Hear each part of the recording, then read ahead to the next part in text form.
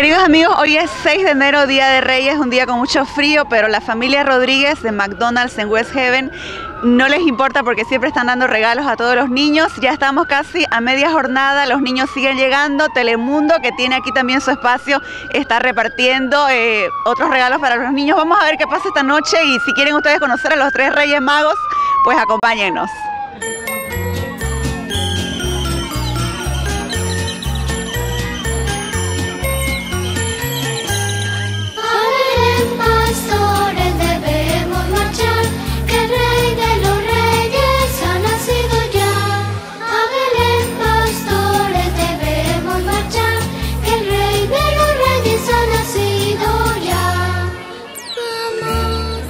A Margie le vamos a regalar la bicicleta y a Ricardo le vamos a regalar una patineta y gracias por participar en el concurso de Telemundo.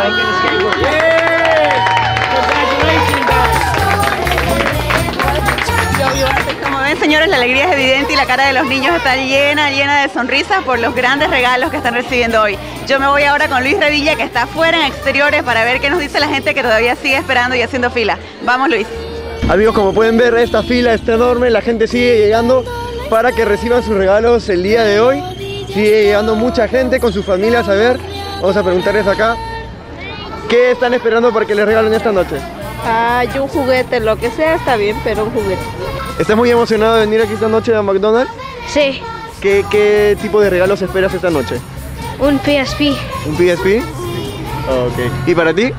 Un hockey ring, like ice hockey. No, air hockey, yeah. Pues Joe, tú no puedes hacer todo este trabajo sin la ayuda de Ana y toda tu familia. ¿Cómo se sienten al estar con niños, con tus propios hijos aquí compartiendo? Bien alegre, bien alegre. ¿Qué te dicen los niños? ¿Esperan tus niños el Día de Reyes también para venir aquí a la tienda? Sí, sí, ahorita me acaba de decir ella, yo quiero un juguete, quiero un juguete. ¿Cuáles son tus palabras para la comunidad que está tan agradecida con ustedes por, por este evento?